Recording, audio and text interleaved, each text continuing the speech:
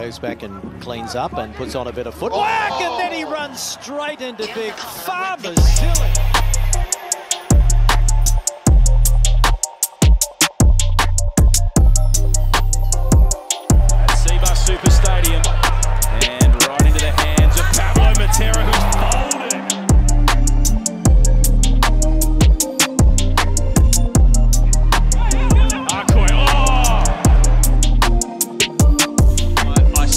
Felt the ground shake. That was unbelievable.